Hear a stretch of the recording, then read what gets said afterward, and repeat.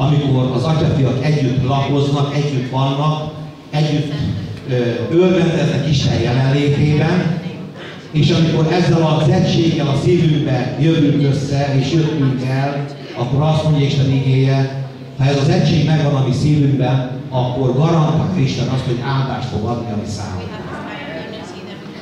Erre az áldásra várunk, és köszönjük szeretettel Écsi testvérünket, kiemelt szeretettel és tisztelettel, aki fogja majd hirdetni Isten igényét.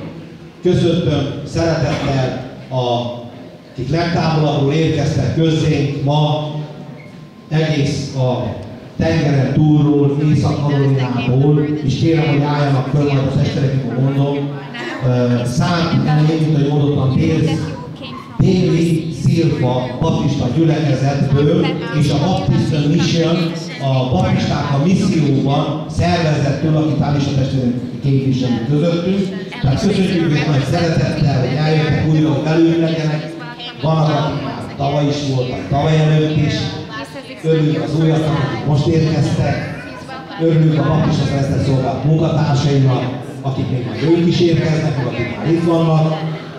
A csoportnak a vezetője, Teresa Val, testvérnőnk, aki minden éve vezeti. Megkérem, álljanak valami testvéreink, úgy a csak akiket szólítottam, azok álljanak fel, mindig, jó? Köszönjük szépen, és kívánjuk, hogy érezzék jó magukat közöttünk, és legyenek áldás számunkra. Köszönjük szépen a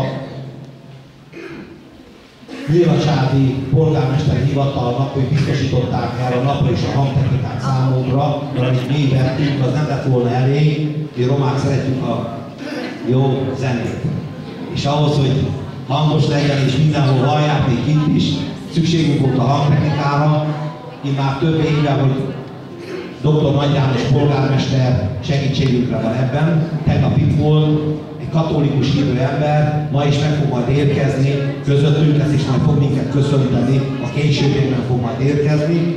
Idatta a hangtechnikát, és uh, Nagy Kábor testvérünket, barátunkat, aki ebben foglalkozik, köszönjük és köszönjük neki a szolgálatát ebben a tekintetben. Testvéreim, köszöntöm